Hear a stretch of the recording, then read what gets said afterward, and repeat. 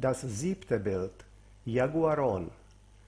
Die Arbeit der Missionäre war nicht vergeblich. Das erlernte Handwerk überlebte die dunkle Zeit der Unterdrückung.